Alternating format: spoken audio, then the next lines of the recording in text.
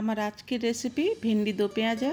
নমস্কার বন্ধুরা, আমি ব্রততী চক্রবর্তী। আমার চ্যানেল লাঞ্চ বক্স উইথ বিউতে আপনাদের আবারও একবার স্বাগত জানাই। প্রথমেই কড়াইতে আমি টু টেবিল স্পুন মতো সর্ষের তেল গরম করে নিয়ে তারপর কেটে রাখা ভেন্ডিগুলো এখানে অ্যাড করলাম। ভেন্ডি জল দিয়ে ধুয়ে নেওয়ার পর কিন্তু অবশ্যই করে ভেন্ডির গা খুব ভালোভাবে টিস্যু পেপার দিয়ে মুছে তারপরে আমরা কাট করব। তাছাড়া কিন্তু গরম কড়াই দেওয়ার পর ভেন্ডি থেকে জল বেরোতে শুরু করবে। আর এই ভেন্ডি দু পেঁয়াজা বানানোর সময় ভেন্ডির টুকরো খুব বেশি বড় রাখা দরকার নেই। আমি একটা ভেন্ডি তিনটে করে টুকরো করে নিয়েছি। এবার তিন থেকে চার মিনিট মতো মিডিয়াম টু লো ফ্লেমে ভাজা ভাজা করে নিয়ে এবার আমি তুলে ফেলব। আমি একটা বড় সাইজের পেঁয়াজ নিয়েছিলাম, পেঁয়াজের ওপরের পাপড়িগুলো আমি খুলে নিলাম। এবার ওই একই কড়াইতে আমি দিয়ে দিলাম কিছুটা পরিমাণে পেঁয়াজের পাপড়ি, তারপর থার্টি সেকেন্ড মতো নাড়াচাড়া করে নিয়ে আমি তুলে ফেলব। খুব বেশি কালার চেঞ্জ করার বা খুব বেশি নরম করার পেঁয়াজের কোনো প্রয়োজন নেই, শুধুমাত্র রস মেলটা যাওয়া অবধি আমি নাড়াচাড়া করে নেব, তারপর তুলে ফেলব। আর আজ আমাদের রেসিপির নাম যেহেতু ভেন্ডি দো পেঁয়াজা, সেই জন্য দুবার দুরকমভাবে পেঁয়াজ আমরা আজকে ব্যবহার করব। আবারও ওই একই কড়াইতে দিলাম টু টেবিল স্পুন মতো সর্ষের তেল। তেল হালকা গরম হয়ে গেলে ওয়ান টিস্পুন মতো জোয়ান এখানে আমি অ্যাড করে দিলাম। ভেন্ডি দো পেঁয়াজা বানানোর সময় অবশ্যই করে চেষ্টা করবেন জোয়ানের ফোড়নটাই ব্যবহার করতে, তাহলে কিন্তু রান্নার টেস্ট খুব ভালো হবে। তেলের সাথে জোয়ান আমি খুব ভালোভাবে ভাজা ভাজা করে নেব।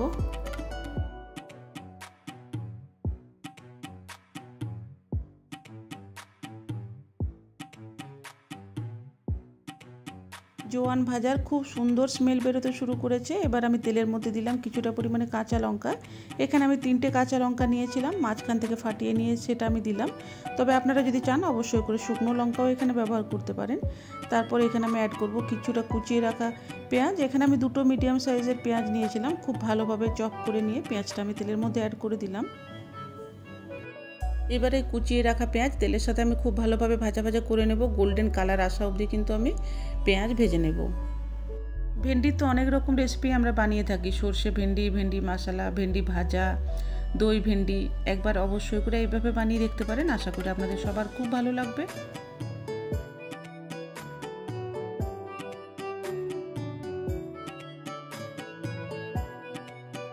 তেলের সাথে পেঁয়াজ খুব ভালোভাবে ভাজা ভাজা হয়ে গেছে। এখন আমি অ্যাড করব কিছুটা পরিমাণে আদা আর রসুনের পেস্ট এখানে আমি নিয়েছি ওয়ান টেবিল স্পুন মতো আদা রসুনের পেস্ট তবে আপনারা যদি পেস্ট ব্যবহার না করেন, অবশ্যই করে কিন্তু গ্রেট করেও এখানে ব্যবহার করা যেতে পারে। আর এই আদা, রসুনের পেস্ট অ্যাড করার পর দু থেকে আড়াই মিনিট অবধি আমি একদমই লো ফ্লেমে খুব ভালোভাবে ভাজা ভাজা করব, যাতে আদা, রসুনের রস মেল পুরোপুরিভাবে চলে যায়।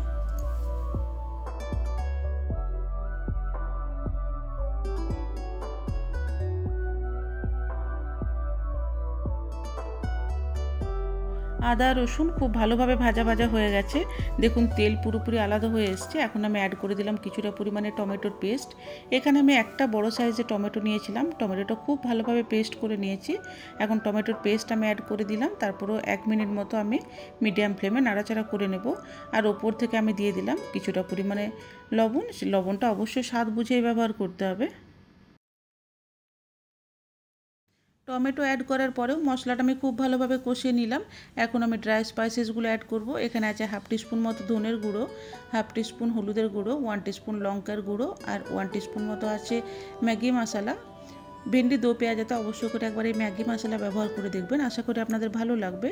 ড্রাই স্পাইসেস অ্যাড করার পরেও আমি আবার কিছুক্ষণ কষাবো। আমার আজকের রেসিপি যদি আপনাদের ভালো লেগে থাকে, তাহলে প্লিজ আমার ভিডিওটি শেয়ার করে দেবেন। আর নতুন যেসব বন্ধু আজ প্রথম আমার ভিডিও দেখছেন, তাদের কাছে অনুরোধ রইল ভিডিও যদি ভালো লেগে থাকে, তাহলে প্লিজ আমার চ্যানেলটি সাবস্ক্রাইব করে আমার চ্যানেলের সাথেই থাকুন।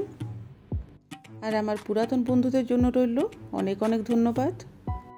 মশলা যাতে কোনোভাবেই পুড়ে না যায়, সেজন্য অল্প একটুখানি করে গরম জল অ্যাড করে করে আমি মশলাটা কষিয়ে নেব। দেখুন, মশলা খুব ভালোভাবে কষানো হয়ে গেছে। এখন আমি আগের থেকে ভেজে তুলে রাখা ভেন্ডি আর পেঁয়াজের টুকরো আমি অ্যাড করে দিলাম।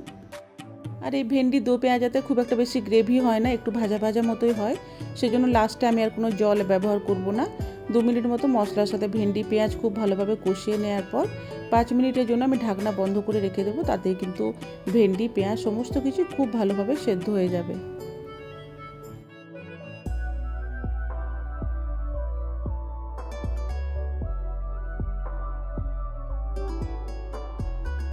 ভেন্ডি, পেঁয়াজ, মশলার সাথে খুব ভালোভাবে কষানো হয়ে গেলে এখন আমি কিছুটা পরিমাণে টমেটো অ্যাড করব। একটা বড় সাইজের টমেটো আমি এখানে টুকরো করে রেখেছি, তবে টমেটোর বীজগুলো কিন্তু আমি এখানে বাদ দিয়ে দিয়েছি। এবার টমেটোটা দিয়েও আমি মিনিট খানেক মতো ভাজা ভাজা করে নেব। আর একদম সব শেষে আমি অ্যাড করব কিছুটা পরিমাণে কুচিয়ে রাখা ধনে পাতা। ধনে পাতাটা দিয়ে আমি একটুখানি নাড়াচাড়া করে নিয়ে গরম গরম সার্ভ করব। আর সার্ভ করার সময় অবশ্য করে চেষ্টা করবেন ওপর থেকে আর একটুখানি ম্যাগি মশলা ছড়িয়ে দিতে, তাহলে কিন্তু রান্নার টেস্ট আরও ভালো লাগবে। আপনাদের সকলকে অসংখ্য ধন্যবাদ এতটা টাইম ধরে বসে আমার ভিডিওটি দেখার জন্য। ভিডিওটি ভালো লাগলে প্লিজ আমার চ্যানেলটি সাবস্ক্রাইব করে দেবেন। যে যেখানে আছেন ভালো থাকুন, সুস্থ থাকুন। ধন্যবাদ।